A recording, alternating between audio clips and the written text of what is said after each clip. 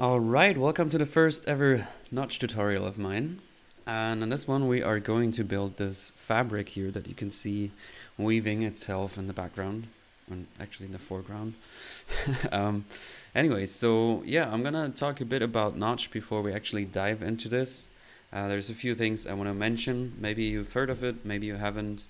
Uh, I don't know. um, but uh, yeah, it's also a node-based programming language and uh, yeah, I'll show you the interface in a minute. But um, yeah, it's uh, it's a really really powerful software for real-time rendering and for making pretty sophisticated 3D uh, animations, 3D renders, procedural stuff, uh, generative art, live visuals, all these kind of things. So it's really focused on visual art, which is really kind of my thing, right? So uh, I'm really in love with the software and you can create some beautiful, beautiful renders and artworks. Um, but there are some downsides that I want to address right away because uh, they're really quite big downsides, I'd say. And uh, the first one being, I'm sorry for all the Mac users, but this is really Windows only. Uh, generally, I mean, if you're working in this field, I personally feel like it makes a lot more sense to work with Windows anyways. But um, yeah, it's just a, a fact. Notch is Windows only. And the other thing is um, it's super expensive. That's kind of the, the main problem. Their pricing model is honestly not that great, to put it very very diplomatically. Um, I'm I hope they change that in the future, and I hope they make this more accessible because it's really not that easily accessible for everyone. But um, yeah, the cool thing is once you do get started with it, and uh, I, I will post some resources to to get started with it in the in the description. You can check that out. Um, it's really really quite simple to learn, and you can make really really cool renders in a very short amount of time. So yeah, I'm really I've really learned to love this software, and yeah, I haven't actually been using it a lot. So please don't uh, think I'm a professional in this. I mean, sort of in this field generally now, but like not uh, with this software. Um, but you can already do really cool things after a short amount of time of learning it, especially if you already have some kind of background of, of touch designer or similar node-based programming languages as I do. So that can definitely be beneficial. And generally, if you have a sense of 3D uh, software, it's it's definitely kind of similar to that.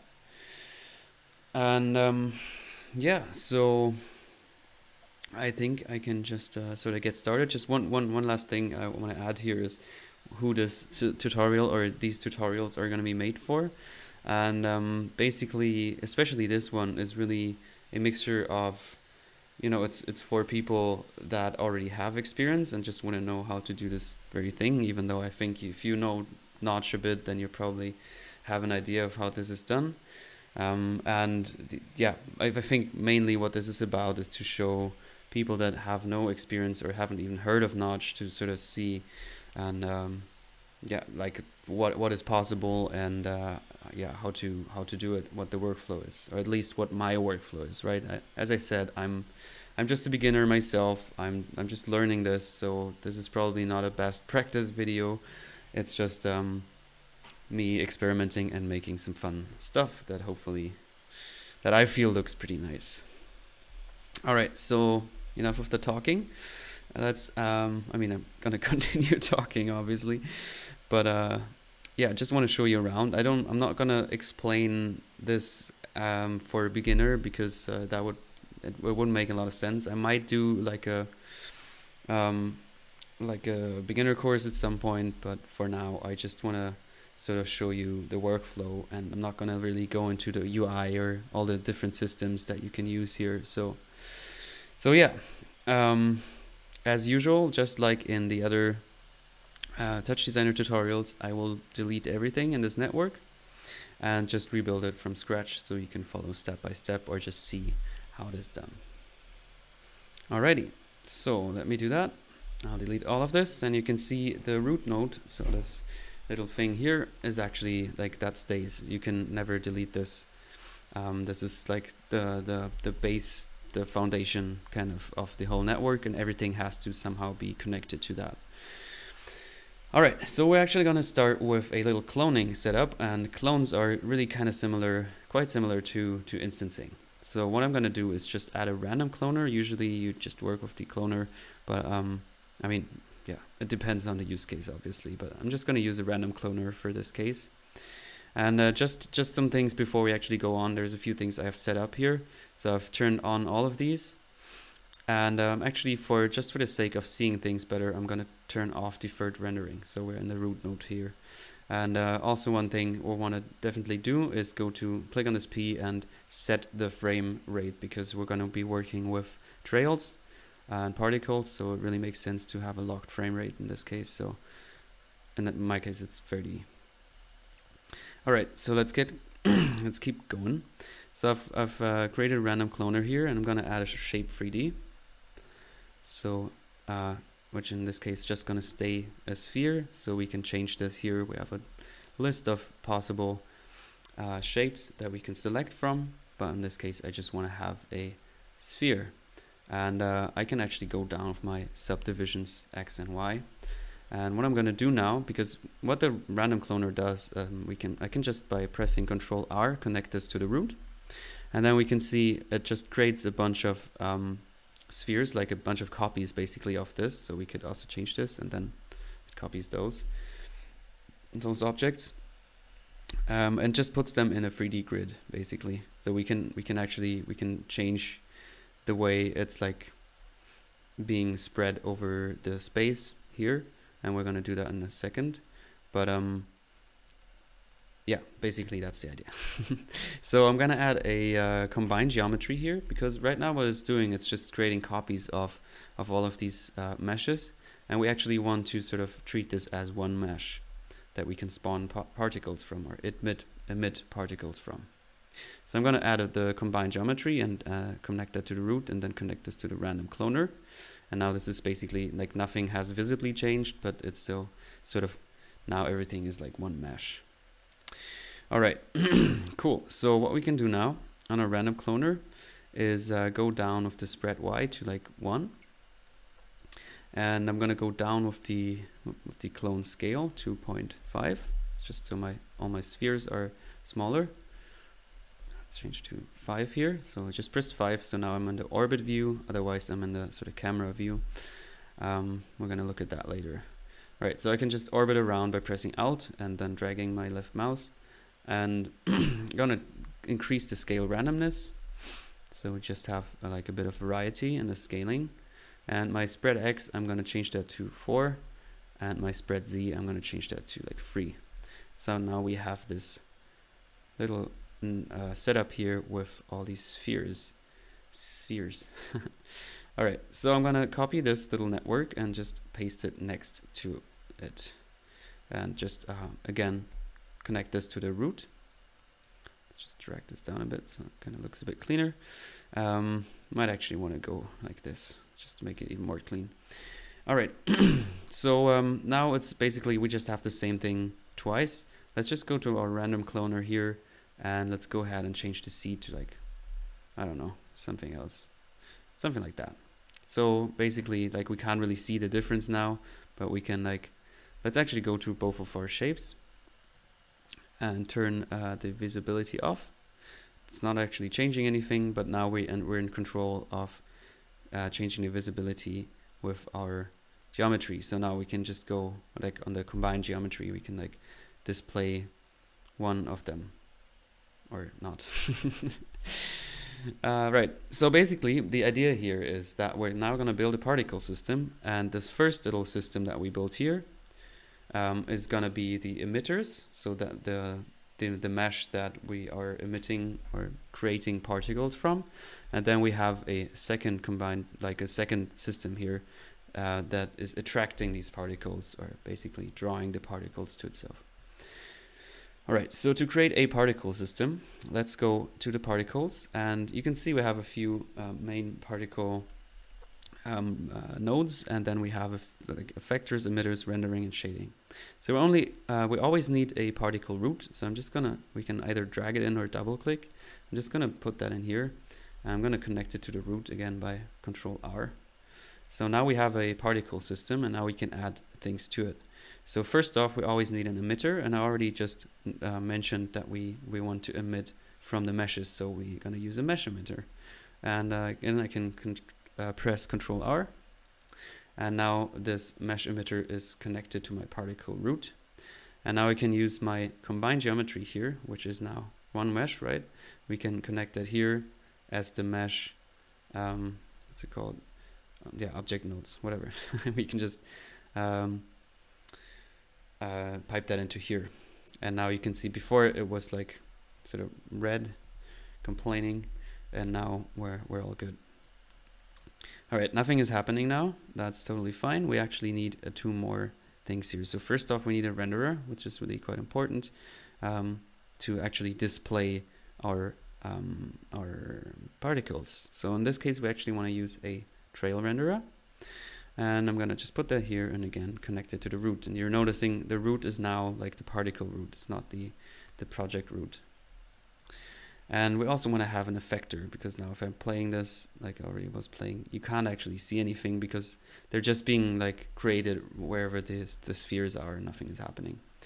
So uh, to be able to see them, we can go to effectors now. And we'll actually want to use two effectors in our case. So first off, what I want to use is a turbulence effector. So I'm just going to drag that in here and connect that to the root. And if I now play, you can already see they're like randomly moving around. So I can press F9 so you can see the whole thing in full screen. And now we can see it's already, I mean, it's already looking really cool. so it's, uh, yeah, it's quite easy to make cool stuff with Notch. But let's go further with this. First off, I actually want to get rid of this uh, by pressing Control 1. I just want to bypass this. And uh, what I want to do now is add a mesh attractor and I'm just going to connect that to the root now and nothing is happening and it's still complaining. Let's now use our second combined geometry and put that in here too. And now you can see some of these um, meshes are attracting the particles to, uh, so it's like, you know, we want this to be further like expanded, not only go to like from one mesh to another mesh. It's kind of oddly uh, distributed right now. I mean, again, this looks pretty cool, but it's not what we're going for. So let's go to our mesh attractor. And uh, what I want to do here uh, is first off, I might want to change the radius, even though I'm not entirely sure if that's necessary. But uh, mainly what we want to do here is increase the randomness, maybe to like 0.9. And now you can see they're actually being like spread in all directions. So we get these cool, this cool net already. It looks much more like fabric already. I mean, this is sort of a fabric. Um, and now we can get back to our turbulence um, uh, effector. So if I just restart the playhead, we can now see they're like not moving in a straight line, but in more interesting, noisy ways from one uh, sphere to the other. So actually, I don't want to see the spheres, so I can just use these, I uh, can select these and then turn off the visibility and now we can see we get just the trails. Cool. So um, that's really kind of it for the for the main um, for the main technique. We can uh, we might want to actually increase the turbulence uh, like velocity amount a bit, and we might also want to increase the radius here. Oops. What the hell did I do now? Okay, let's just go. What the fuck? okay, right. There we go. Um, right. So right now everything is completely white. Um, we actually want to add some some lighting and make this more 3D-ish because it looks very much 2D right now, right? So um, first off, again, I want to uh, turn the visibility off here because I, I just went back a couple of steps. Sorry about that. We can change the noise scale if we want to. Well, let's just get back to that and, and, and go on with some other stuff. So first off, we want to uh, turn on deferred rendering. And it doesn't really make a difference right now because we're actually drawing lines. So in our trail renderer, we want to go to um, uh, the primitive type here and change this to extruded geometry. And now everything disappears. And that's totally fine because um, now there's actually 3D geometry, but there's no light to show it. So what I'm going to do is add a light and just drag that in here and connect it to the root and you can already see something happening here. All right, but the light is basically just in the center.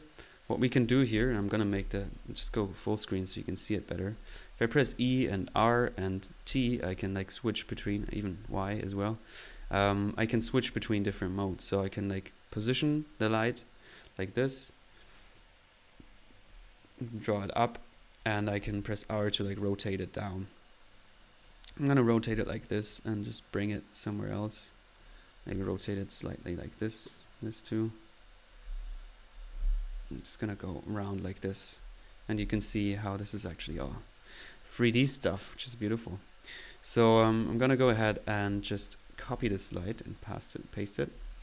And then I'm gonna position the other one like on the other side.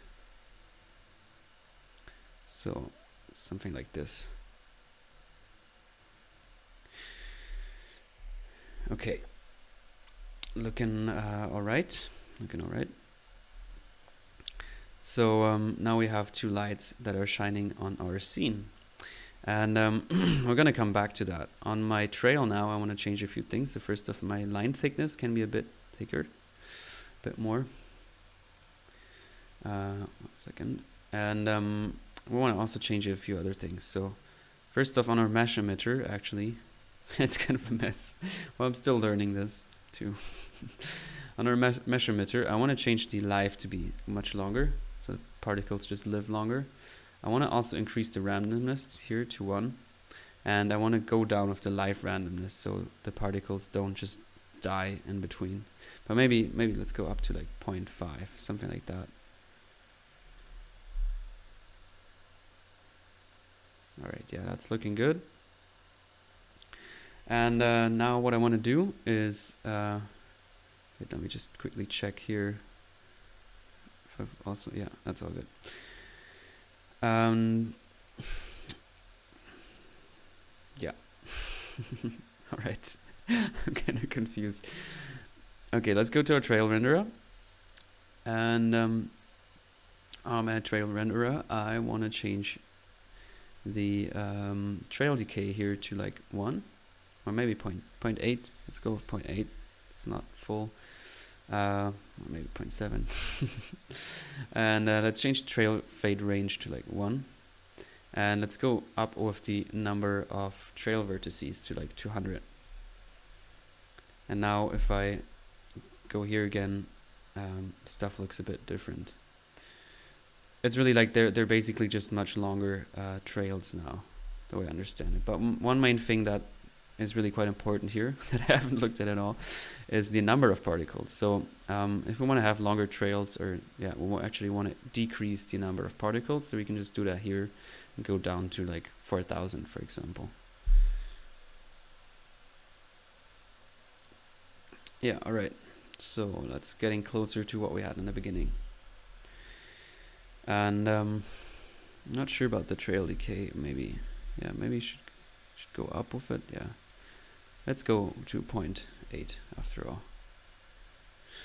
All right, so let's look at how to style this stuff a bit more. So first off, what we might want to do is add an environment light, an environment map, so we can work with uh, with a material better.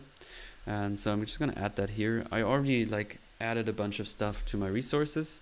So you just need HDRIs. Uh, you can download them for free, or they're also in the, in the package if you like do the beginner course of Notch. And um, if you just load in an environment map and just drag in a bunch of HDRIs, you can now select those from the list here. So I'm just gonna go with like glass passage for now, and I'm gonna go and add a material. And uh, we actually want to style the trails. So I'm, the trails are now actually a mesh. They're actually geometry, so we can just add a material to them. So I'm adding material here.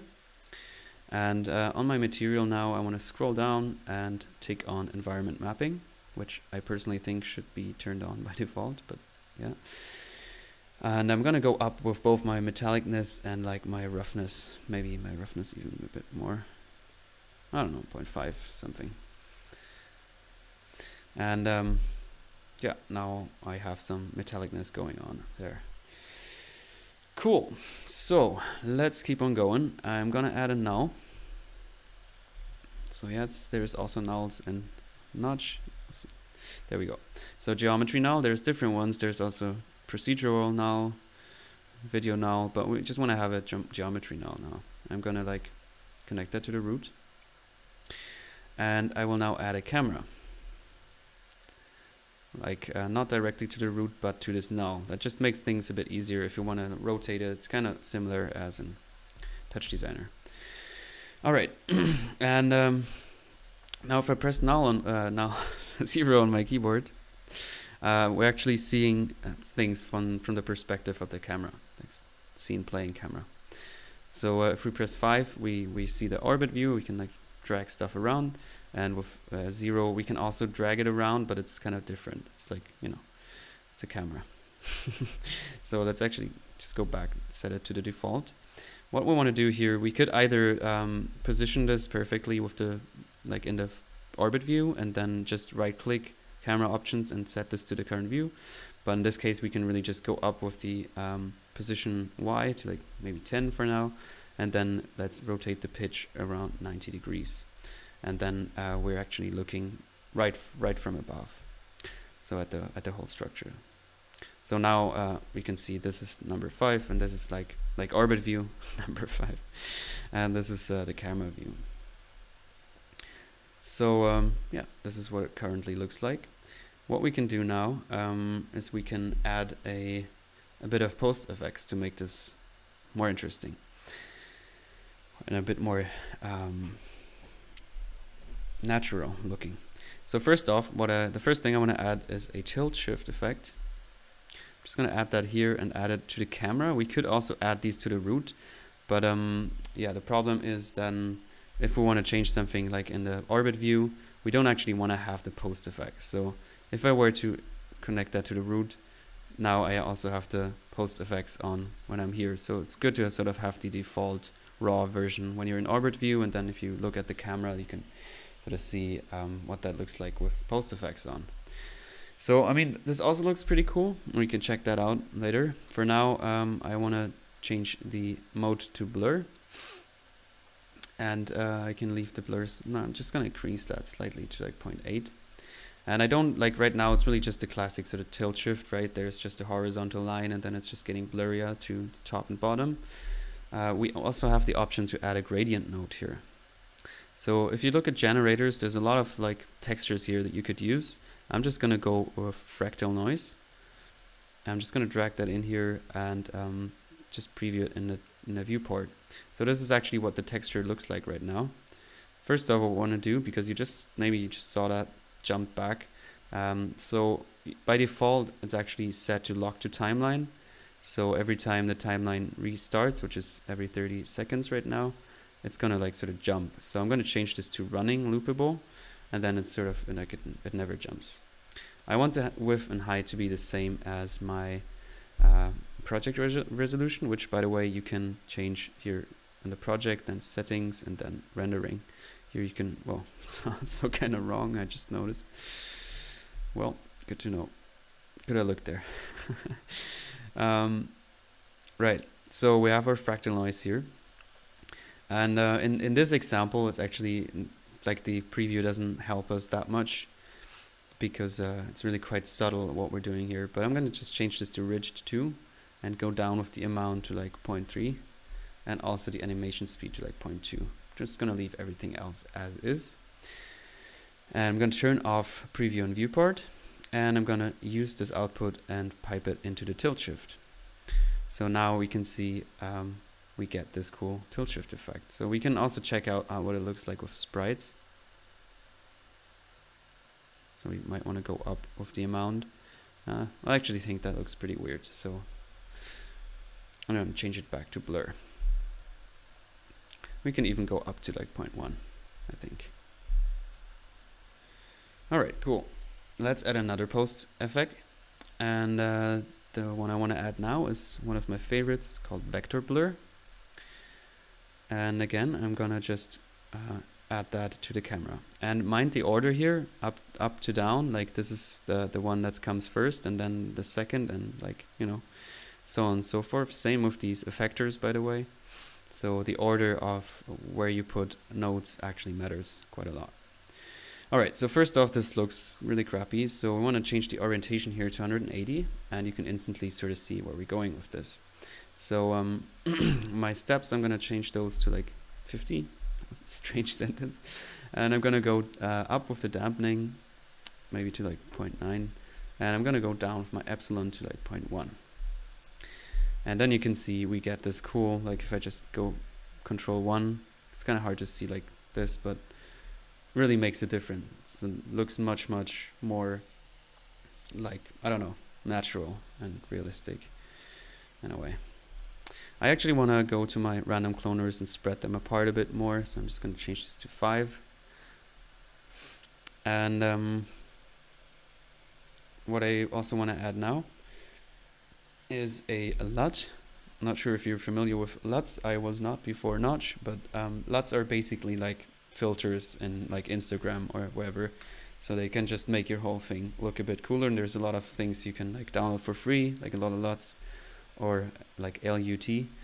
Uh, and there's also, of course, a lot of stuff you can buy. I just uh, downloaded a bunch of free ones, and I'm just going to use Contrail for now.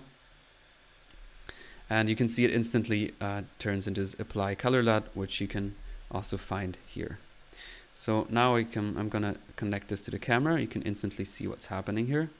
I'm going to go down with my blend amount to like 0.6. And then you can like look at this list because I've already dragged all of them in here. And then you can see they're like different filters. I'm actually going to use Django because it just looks really sick. but yeah, it's just these slight things that I don't know that I personally really love about Notch that you can just make things look a lot more cinematographically aesthetic. Does that does that make sense? Just make them look prettier, right? And and more sort of realistic. Right. And to round this off a bit um, and to show you modifiers as well, I'm going to add a math modifier. And what I want to do is just add a slight movement to my camera. So one thing actually I just want to quickly show you with the continuous modifier. I'm going to just add that here and show you a few more modifiers. So modifiers are a bit like chops in a way. You have, um, like in Touch Designer, you have MIDI modifiers, OC modifiers, sound modifiers, and um, condition modifiers, all these kind of things. So with those, you can actually control the parameters of other nodes. So it's really quite similar to chops. So um, with the continuous modifier, I could, for example, go to my null now, and uh, I have this rotation. Yeah, I don't actually want to use the heading, but the pitch now maybe. No, no, the bank, and uh, just rotate the camera around like this. And I could do that by just using like, you should always reset this to whatever uh, value you want to start at. And then we can use this output, put it on here, and maybe increase the speed to like 5 or maybe 10. And now you can see we're like moving around and we can actually see the 3D, 3D-ishness of this, 3D properties. But I don't actually want this uh, in this case. Uh, what I wanted to do, what I was going for, you can just press Control Shift and then left click over, like while hovering over the lines to disconnect them. I hope you're noting this down, Touch Designer. um, taking notes. Um, yeah, I actually want to just add a slight movement so it looks like some somebody's not like holding their hands entirely still. So I'm just going to add the math modifier here to the position X. And you can see instantly what's happening. This does not look good though, of course. So I'm going to change this to Perlin noise. And I'm going to go down with the octaves to like 1. And I'm going to change the scale here to like 0.2. We really just want this to be subtle. So 0.2 here, like maybe 0.4 here. 0.4 here. There we go. And now we can just uh, copy and paste this. I don't know why, but there is no seed option here for this noise. Actually, again, let's change this both to use deltas. And um, what we can do, we can change the time offset maybe like 100 or I don't know. Let's just go to 1000. So it's basically like changing the seed. And now we can use that on the Y parameter. And now uh, it just looks a bit more interesting, I think, because we're like kind of moving around the structure and not just statically looking at it. Alrighty, is there anything I have forgotten? Well, one last thing. Uh, two last things. First off, there's the skybox, which I really like because um, you know it's kind of boring to always just see uh, an empty void behind the structures or the artworks that you make. So it's really cool to have the skybox, and when we're connecting that, nothing happens, which is amazing, right? So, uh, but we've already uh, added a lot of environment maps here, so we can just pick those. And of course, first it just looks very odd. Um, but for example, I might just use this for, let's just go with, I don't know, whatever. Let's just go with that. Let's maybe uh, go around, like change change this around, something like that. And let's just go down drastically with the brightness, say 0.01, maybe 0.1 here. Actually, let's let's just see what else is there. Maybe something like this, and then we can just go up with the blur amount too. And you can see just instantly becomes much more interesting, right? If we have no no skybox, and if we do have a skybox, I think it really makes quite the difference. And uh, I mean, there's so many HDRIs out there that are really cool, so you can just check that out. And uh, another thing is um, we might want to use a film grading, which I also really like, maybe before the uh, LUT, which is a really strange word. And uh, you can instantly see how that improves everything a bit. We can um, go down with the chromatic amount, maybe 2.6, and it just looks a bit more cinematic, I guess. Something like that. But yeah, I, I really like that too. Even though I don't want to like use it on everything because you can, I don't know. But I don't know why. It just looks. Uh, sometimes it, it can be a bit too much, so I, I would always use this subtly.